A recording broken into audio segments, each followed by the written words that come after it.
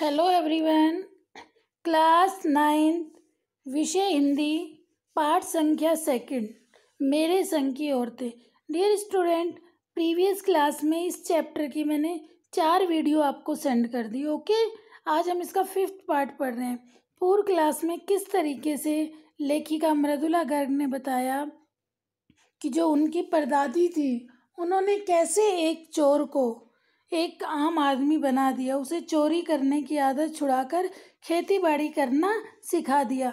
मंजुल भगत थी। घर का नाम था रानी। बाहर का मंजुल, लेखी का अवतार हुआ मंजुल भगत, क्योंकि लिखना शादी के बाद शुरू किया और अपना नाम बदलकर पति का ग्रहण करने में कोई हीन भावना आड़े नहीं आई। इसलिए पैदाइशी जैन नाम छोड़कर भगत बनी। दूसरे नंबर पर मैं थी। घर का नाम उमा, बाहर का नाम मृदुला। मैंने भी शादी के बाद लिखना शुरू किया। सो बतौर लेखी का नाम चला मृदुला गर्ग। मुझे याद है, जब हमने लिखना शुरू किया, उससे कुछ पहले नारीवाद का चलन हुआ था। शादी के बाद नाम न बदलने का रिवाज उसी ने चलाया था।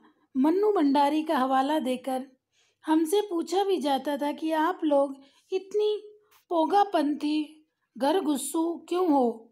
नाम क्यों बदला? हमारे पास इसका कोई ढंग का जवाब नहीं होता था। अब भी नहीं है, पर नाम बदलने से अपने व्यक्तित्व को कोई नुकसान होते मैंने नहीं देखा। पूछने को तो पिताजी से लोग यह भी पूछते थे कि पाँच बेटियों से आपका मन नहीं भरा, जो हर बेटी के दो दो नाम रख दिए। लेखिका क्या बता रही है? हम पाँच बेटियाँ थी, ठीक है? और दो दो नाम थे। मुझसे छोटी बहन का घर का नाम गौरी और बाहर का नाम चित्रा। वह नहीं लिखती थी। उसका कहना है कि वह इसलिए नहीं लिखती क्योंकि घर में कोई पढ़ने वाला होना चाहिए। खैर, उसके बाद जब चौथी, पांचवी बेटी पैदा हुई, पिताजी ने इतनी बात जमाने की सुनी कि उनका सिर्फ़ एक एक नाम ही रख पड़ा। ठीक है, रेनू और अचला, पाँच बहनों के बाद एक भाई हुआ राजीव। मज़े की बात यह है कि बीच की दो बहनें ही लेखन से बची रही। अचला और राजीव फिर उसमें जा फंसे। अचला मुझसे आठ साल छोटी है और वक्त के बदलाव की लाज रखते हुए अंग्रेज़ी में लिखती है, पर राजीव हिंदी में। हम चार लिखते हैं और तमाम खानदान हमें पढ़ता है। मेरे ससुराल में मुझे कोई नहीं पढ़ता। इस तथ्य को हज़म करने में मुझे काफ़ी वक्त लगा। फिर उसके फ़ायदे भी नज़र आने लगे। कम से कम घर के भीतर तो मुझे हिंदी आलोचना बुद्धि से दो चार नहीं होना पड़ता। खैर, मैं अपनी नहीं, उन ए देवियों की बात कहना चाहती हूँ जो परदादी की मन्नत के नतीजतन धरती पर आई और लेखक नहीं बनी। जो बनी उन्हें सांस लेने की ज़रूरत कुछ ज़्यादा ही समझ में आता है, जैसे मेरे पिताजी ने। एक बार मंजुल से कहा, कोई दम नहीं घुटता, सांस लेने की ज़रूरत ही ज़्यादा है। पर यहाँ तो हम शेर तो गैर लेखिका बहने सवा शेर। चौथे नंबर वाली रेणु का आलम था कि गर्मी की दोपहरी में स्कूल से वापसी, पर जब गाड़ी उसे और उसकी छोटी बहन अचला को बस अड्डे से लेने जाती तो रेणु उसमें बैठने से इनकार कर देती। उसका कहना था कि यूँ थोड़ा सा रास्ता गाड़ी में बैठकर तय करना सामंत शाही का प्रतीक था, जो शायद था, पर साथ ही पिता के अतिरिक्त लाड़ का भी और रसोइये को खाना खिलाकर जल्दी फारिग करने की लाचारी का भी। माँ तो सब चीज़ों से उदासीन रहती थी, पर पिताजी काफ़ी कुड़ते भुनते जब देखते कि अचला गाड़ी में बैठी चली आ रही है और रेणु पीछे पीछे पसीने में तरबतर खरामा खरामा बचपन में एक बार चुनौती दिए जाने पर उसने जनरल थिमेया को पत्र लिखकर उनका चित्र मंगवाया, जो एक मोटरसाइकिल सवार जवान आकर उसके हाथ में दे गया। पड़ोस में उसका रुतबा काफ़ी बढ़ गया था। गाड़ी में बैठने के साथ उसे इम्तिहान देने से भी परहेज था। स्कूल तो जैसे तैसे पास कर लिया। बहन के बारे में बता रही जब बीए का इम्तिहान देने की बारी आई तो वह अड़ गई। पहले मुझे समझाओ कि बीए करना क्यों ज़रूरी है। तब मैं इम्तिहान दूँगी। लेखिका अपनी बहन के बारे में बता रही है कि जो छोटी छोटी बहन थी, रेनू, बोली, मैं बीए का एग्ज़ाम क्यों दूँ? पहले मुझे ये बताओ।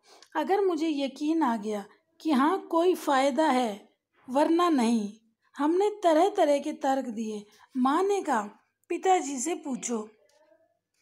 पिताजी ने कहा, नौकरी कर पाओगी, शादी कर पाओगी, लोग इज़्ज़त से देखेंगे, वगैरह वगैरह। कोई तर्क विश्वसनीय नहीं लगा, न रेणु को, न खुद उन्हें। आखिर उन्होंने उसी कुतर्क का सहारा लिया, जो युगों से माँ बाप के काम आता रहा है। कहा, बीए करो, क्योंकि मैं कह रहा हूँ, करो। रेनू ने बीए कर तो लिया, पर सिर्फ़ पिता की खुशी के लिए, यानी पास होने लायक नंबर लाकर। सच बोलने में वह माँ से भी दो कदम आगे है। गनीमत यह है कि आधा समय उसके गनीमत यह है कि आधा समय उसके सच सुनकर लोग सोचते हैं वे मज़ाक कर रही होगी। इसलिए बिना मेहनत वह लोगों को हंसाए रख लेती है। आज भी उसे कोई इत्र भेंट करता है तो वह कहती है, नहीं चाहिए, मैं तो नहाती हूँ। कहने का तात्पर्य यह है कि उसका जो जीवन था वो सादा जीवन उच्च विचार। बीए की पढ़ाई माता पिता के कहने पर उसने कर ली, लेकिन सिर्फ़ पास होने लायक ही नंबर लेके आई। तीसरे नंबर पर चित्रा है। तीसरे नंबर की बहन के बारे में बताए, वह कॉलेज पढ़ने तो जाती थी, पर खुद पढ़ने से ज़्यादा दिलचस्पी औरों को पढ़ाने में रखती थी। इसलिए इम्तहान में उसके अंक कम और उसके शारगिर्दों के ज़्यादा आते थे। मतलब वो क्या करती थी? खुद पढ़ने के बजाय दूसरों को पढ़ाती थी। तो इसमें क्या होता था? जो उसकी सहेलियाँ थी, उनके नंबर तो अच्छे आ जाते थे और उसके चित्रा के मार्क्स कम। पर अपने यहाँ सब चलता था। उसकी शादी का वक्त आया तो उसने एक नज़र में लड़का पसंद करके ऐलान कर दिया कि शादी करेगी तो उसी से।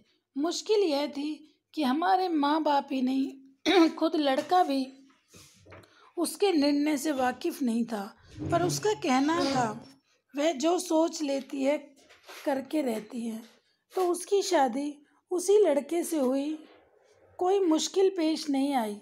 आती भी क्यों? उसने कहा, मैंने पहली मुलाकात में ही उसे बतला दिया था कि मैं जो सोच लेती हूँ, वो करती हूँ। होकर रहता है। उसने बात आगे खींची ही नहीं। पहली मुलाकात में ही हथियार डाल दिए। हम में सबसे छोटी बहन अचला। काफ़ी दिनों तक कुछ कम खिसकी मालूम पड़ती रही। पिता का कहना मानकर पहले अर्थशास्त्र अर्थात इकोनॉमिक्स किया, फिर पत्रकारिता में दाखिला लिया, ढंग से पढ़ाई की पास हुई, फिर पिता की पसंद से शादी भी कर ली, पर उसके आगे लीक पर नहीं चल पाई। घर बार में मन ज़्यादा रुचा नहीं। और मंजुल और मेरी तरह उम्र के तीस बरस पार करते ही लिखने का रोग उसे भी लग गया। जैसे कि बेटा, पूर्व में भी इस पाठ में बताया गया था कि मेरे संग की औरतें, लेखिका कौन है? मृदुला गर्ग जैसा कि मैंने आपको बताया था, इसमें अपनी इस कहानी में उसने अपने घर में सबके बारे में बताया। नानी का बारे में, दादी का, परदादी का, अपनी बहनों के बारे में, खुद के बारे में। ठीक है? एक बात हमने एक सी रही। घर बार और परंपरागत तरीके से हमने भले ही न चलाया हो, उसे तोड़ा भी नहीं। शादी एक बार की और उसे कायम रखा। चाहे तलाक के कगार पर खड़ी चली हो, पर कगा, कगार तोड़ डूबी नहीं। शायद इसलिए कि जैसा मैंने अपने पहले उपन्यास में लिख डाला था, हम सभी विश्वास करती रही होंगी कि मर्द बदलने से कोई प्रयोजन सिद्ध नहीं होता। घर के भीतर रहते हुए भी अपनी मर्ज़ी से ही जी लो तो काफ़ी है। कि भाई, अगर हमें किसी तरह की कोई दिक्कत भी थी तो हमने ये निर्णय लिया कि दूसरी शादी कोई औचित्य नहीं है। शादी के बाद मैं बिहार के ऐसे छोटे कस्बे में रही, जहाँ मर्द औरत, चाहे पति पति क्यों ना हो, पिक्चर देखने भी जाते तो अलग अलग दबड़ों में बैठते। देखिए, ऐसे ग्रामीण एरिया में लेखिका कह रही है कि मेरी ऐसे पति से शादी हुई, ऐसे छोटे से कस्बे में कि जहाँ लोग इतने नैरो माइंडेड इतने छोटे विचारों के लोग कि पति पत्नी भी अगर पिक्चर देखने जाते तो अलग अलग दबड़ों में बैठते। मैं दिल्ली से कॉलेज की नौकरी छोड़कर वहाँ पहुँची थी और नाटक में अभिनय करने की शौकीन रही थी। मैंने उसके चलन से हार नहीं मानी। साल भर के भीतर उन्हीं शादीशुदा औरतों को, पराए मर्दों के साथ नाटक करने के लिए मना लिया। अगले चार साल तक हमने कई नाटक किए और अकाल रात कोष के लिए उन्हीं के माध्यम से पैसा भी इकट्ठा किया। वहाँ से निकली तो कर्नाटक के और भी छोटे कस्बे बागलकोट पहुँच गई। जब तक मेरे दो बच्चे हो चुके थे, लेखिका बता रही है, जो स्कूल जाने लायक उम्र पर पहुँच रहे थे, वहाँ कोई ढंग का स्कूल नहीं था। लोगों की राय पर मैंने पास के कैथोलिक बिशप से दरख्वास्त की कि उनका मिशन वहाँ के सीमेंट कारखाने की आर्थिक मदद से हमारे कस्बे में एक प्राइमरी स्कूल खोल दे। पहले उन्होंने कहा, चूँकि उस प्रदेश में क्रिश्चियन जनसंख्या कम थी, इसलिए इसलिए वे वहाँ स्कूल खोलने में असमर्थ थे। मैंने गैर क्रिश्चियन बच्चों को भी शिक्षा पाने के लायक सिद्ध करते हुए अपना इसरार जारी रखा। तब उन्होंने कहा, हम कोशिश कर सकते हैं। बशर्ते आप हमें यकीन दिलाए कि वह स्कूल अगले सौ वर्षों तक चलता रहेगा। मुझे गुस्सा आ गया। मैंने कहा, स्कूल की छोड़िए। किसी के भी बारे में यकीन नहीं दिलाया जा सकता कि वह अगले सौ बरस तक चलेगा। वे भी गुस्सा खा गए। बोले, खुदा का लाख शुक्र है। बच्चों के न न पढ़ पाने की समस्या आपकी है, मेरी नहीं। बात कड़वी थी, पर सौ फ़ीसदी सच थी। सच के आगे सिर झुकाने की हमारी बचपन की आदत थी।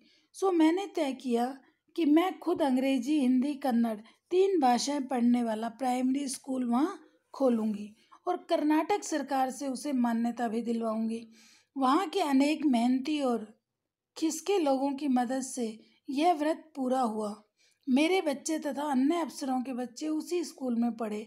बाद में अलग अलग शहरों के अलग अलग सख्यात स्कूलों में दाखिला भी पा गए। ऐसे अनेक मौके आए, जब मैंने अपने जिद्दीपन के नमूने पेश किए। पर सबसे ज़्यादा उसने मंच पाया मेरे लेखन में, जो शुरू से अब तक लीक से खिसका। अपनी राह खुद तलाशता रहा। पर सब कुछ कर लेने पर भी मैं अपनी छोटी बहन रेनू के मुकाबिल नहीं पहुँच सकती। 1950 के अंतिम दौर में एक रात दिल्ली में एक साथ नौ इंच बारिश हो गई। दिल्ली की खासियत, दिल्ली की खासियत यह रही कि थोड़ा पानी बरसते ही वहाँ के नाले, परनाले में बाढ़ आ जाती है। पुलों के नीचे पानी भर जाता है। तमाम यातायात ठप हो जाता है। इस इस कयामती बारिश के बाद तो सरकारी दफ्तरों के पहले तलों से फाइलें पानी में तैर आई थी। अगली सुबह किसी तरह का कोई वाहन सड़क पर नहीं निकला। ज़ाहिर है कि रेनू के स्कूल की बस भी उसे लेने नहीं आई। रेनू ने कहा, कोई बात नहीं, मैं पैदल चली जाऊँगी। सबने समझाया, स्कूल बंद होगा, मत जाओ। उसने कहा, आपको कैसे पता? इस सवाल का माकूल जवाब किसी के पास नहीं था। सही जवाब।